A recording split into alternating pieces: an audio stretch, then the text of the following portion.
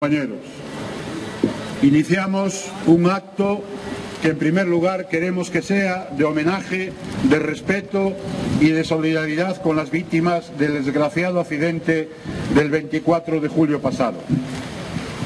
Precisamente en el atardecer del pasado 24 de julio, a unos metros de aquí, en la plaza del Obradoiro, la ciudad de Santiago se preparaba para el espectáculo de luz sonido y fuegos de la víspera del Día Grande de Galicia. Y todo aquello que estaba llamado a ser un día de fiesta y exaltación de Galicia y sus gentes, de pronto se convirtió en un mal sueño, de cuya pesadilla tardaremos tiempo en despertar. Y aquellas imágenes del Obradoiro, llenas de gente, pasamos a de aquel tren descarrilado en Android también con gente, pero no con la actitud de pasar un rato agradable.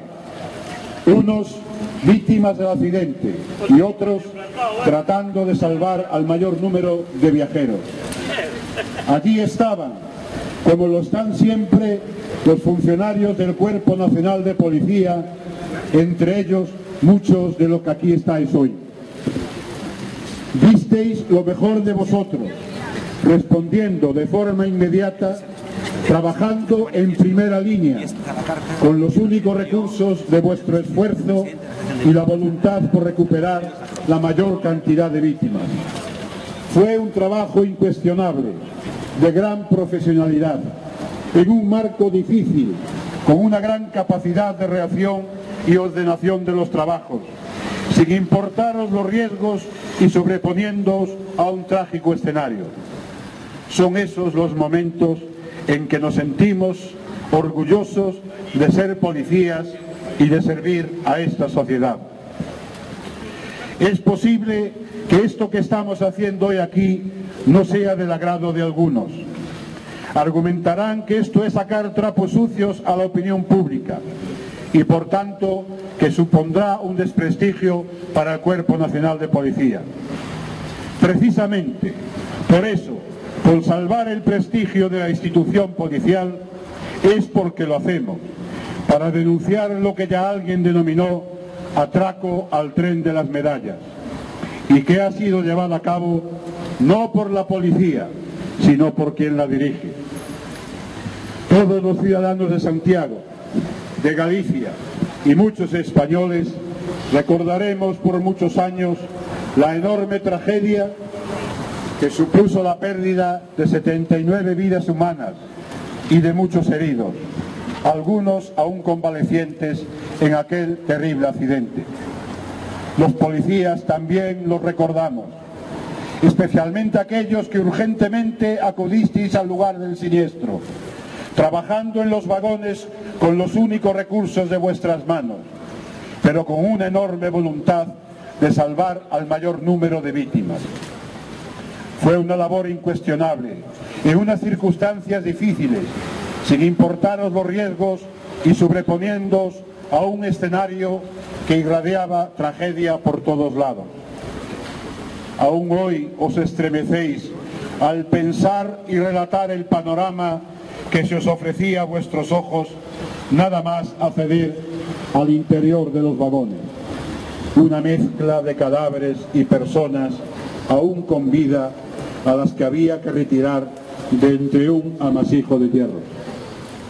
A ellas, a las víctimas, nuestro recuerdo, nuestro afecto y nuestra solidaridad. Y hacemos votos por una pronta y total recuperación de los que resultaron heridos. Por ello ahora, en su memoria, en su recuerdo, guardaremos un rato de silencio al tiempo que escuchamos la canción que con este motivo compuso nuestra compañera Sandra Campos.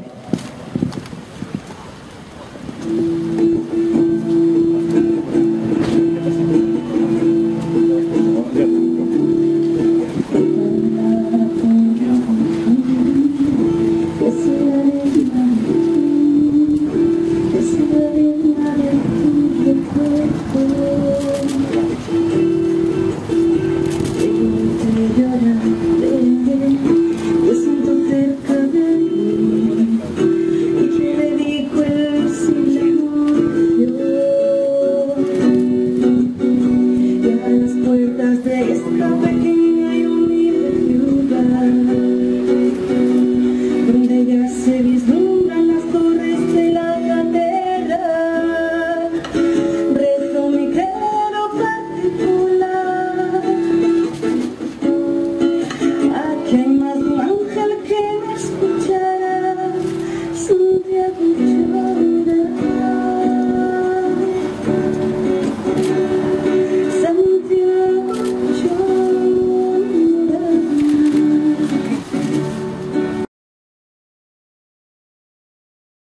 Lucía, Elena, Antonia, Santiago, Enrique, David, Carolina, Elisa, Raúl, Leonor, Olga, María Delia, Ignacio, Celtia, María Patricia, Ana María, Fabio, Mohamed, María Isabel, Yolanda, Juan Manuel,